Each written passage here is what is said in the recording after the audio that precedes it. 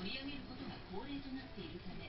前日とは打って変わって両候補は笑顔だっ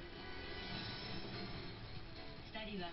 握手も交わした。ただトランプ氏には笑えない事態が炎上したのだ。らしいね研究所。ここは何を研究してるんですか？女性の視点で住まいのときめきを研究していますときめきですか？女性の感性で作る部屋の間取りやインテリアで新しいときめきを生み出しているんです。そうなんですね。女性の視点で賃貸住宅を変えていく。パナホームのらしいね。これは住んでみたいな。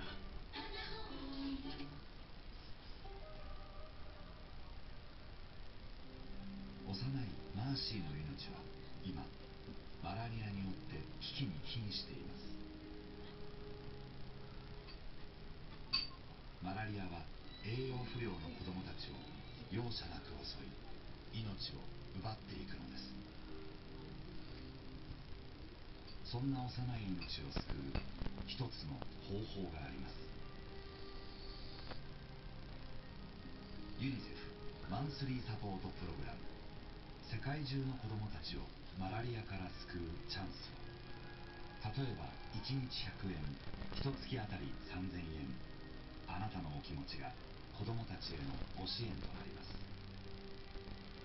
3000円のご支援で抗マラリア薬321回分あるいは感染を防ぐ蚊や7針分にもなります。皆様のご支援でマーシーのようなマラリアの感染を防ぐことができます。子供たちの命を守るのはあなたのご支援です。彼らには時間がありません。今すぐお電話ください。フリーダイヤル0120-279452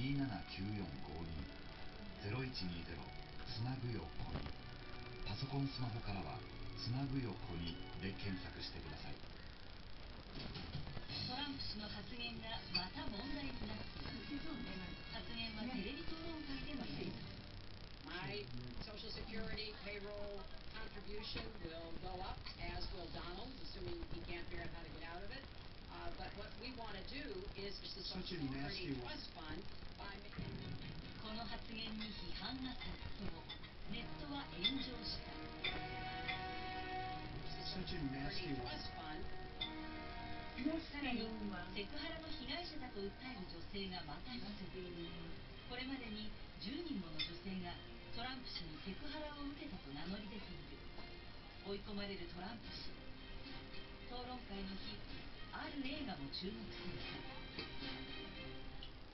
トランプ氏を批判してきたマイケル・ムーア監督の話題の映画あと30分ほどで始まります。こちらの映画館チケットを買い求める人が増えています。映画はムーア監督がジョークを交えて聴衆に演説をする構成で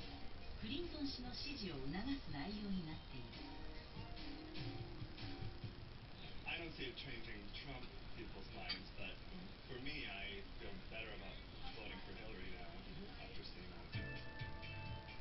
日本ではアメリカ大使館でケネディ大使と共にテレビ討論会を見るイベントが開催され100人ほどの日本の学生が参加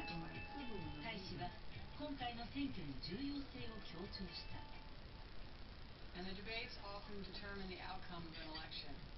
So no matter who wins, this is a historic election because for the first time, a woman is at the top of a major party ticket. ちなみにテレビ討論は学生の9割がクリントン氏勝利と判定した that I will totally accept the results of this great and historic presidential election if I win. 大統領選明日工事へまた僕行かなきゃじゃん何時から？すごいですね。はい、このトランプ氏の問題発言、こちら、such a nasty woman というのが批判されているんですが、この nasty というのもあの辞書で聞いてみますと、不快な、汚らしい、タチの悪い、みだらななどの意味が書かれていまあ、こうかなりネガティブなイメージがあります。ね、あの宇佐美さん自身もね、アメリカ住んでましたけど、これ、男性に言われるってどういう感覚なんですか？うーんちょっと耳を疑う疑います。ね、まあ、ましてやこの討論会でこの、まあ、スラングまでいかないんですけどちょっとこうカジュアルなこの言葉をあの、ね、出すっていうのは結構すごい勇気がいるなと思います、非常に強い言葉っていうふうに言うことができると思いますね、岸田さんね、ここに来てもやっぱりこういうことが話題になるっていうね。ただどうなんでしょう。もうなんか驚かなくなっちゃってるんですけどトランプ支持者っていうのはこれ想定内の言葉ですよねきっとね。そうだと思いますね。はい。どうどうなんですか、ここに来て、まあえー直接の対決になるテレビ討論会、ランダーさん、3回分全部終わりました、ね、いろいろ勝敗もね、言われてましたけれども、ここまでご覧になって、一番何を強く感じられますか？そうですね、まあ、やっぱりあのクリントンさんは有利で、あの今ご覧になっているように、クリントンさんが有利で、あのよっぽどのことがない限り、クリントン大統領の誕生になるだろうと思います。むしろその議会の方があまり日本では注目されませんけれども、議会が、えーどうなるかっていうのが今、あの関心事ですね。大統領選挙と同時に議会選挙がアメリカで行われるそう。ですね、はい。あの民主党、共和党接戦になっていまして、特に上院についてはもう本当にあの100人の議員がいて、もしかして民主党50人、共和党50人というような形になるかもしれないし、あのトランプさんはやっぱり下がってるから、あの共和党の議あの議員も減るんじゃないかと言われてますね。えーなので、その議会と、あの議会、仮にあの可能性は少ないと思いますけれども、仮にあの民主党が支配するようになれば、クリントン政権がずいぶん変わってくると思うんです。ね、もっともっといろんな法案を通せるようが通せるようになるし、